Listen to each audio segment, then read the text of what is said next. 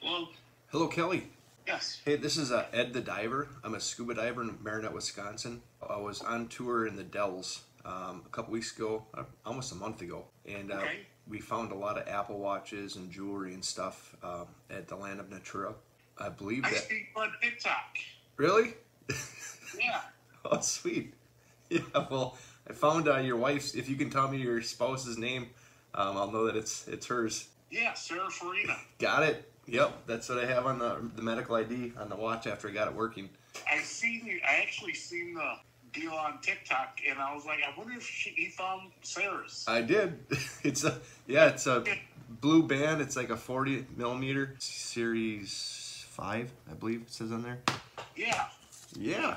Well, I'd love to get it back back to you guys, so I can just ship it. Um, where are you guys at? We're in uh, Rockford, Illinois. Rockford, Illinois. Okay, I return a lot of these, so I pay a lot of shipping. So I ask people if they can, you know, pay for the shipping, which is only six fifty. Um, Yeah.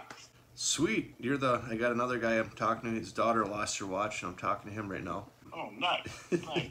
This is great. Yeah, I've been following you on TikTok.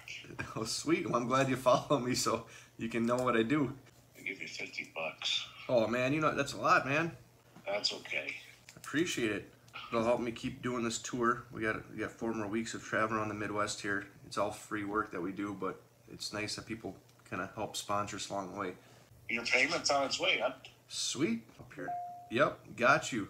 Awesome. Yeah, and I'll send it out uh, tomorrow morning. I got some other shipments to send out. Yeah, I, man, I'm glad I could help you out, and it's uh, it's a cool cool the way it works out. I've been watching videos when I started doing this, how people would find stuff and return it, and it's just such a blessing to be able to do that and help others out. Well, keep it up. You know, you got something good going, and uh, it's fun to watch all the different stuff. I just seen you were at Blarney Island. Oh, Is that right? yeah, it was a blast. It was no vis- zero visibility, muck.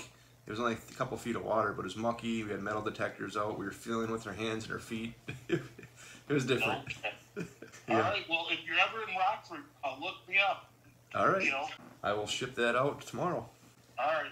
So much. Anytime, man. Hope she's happy. She will be. Good. All right. Thank you. Bye. See ya. Awesome.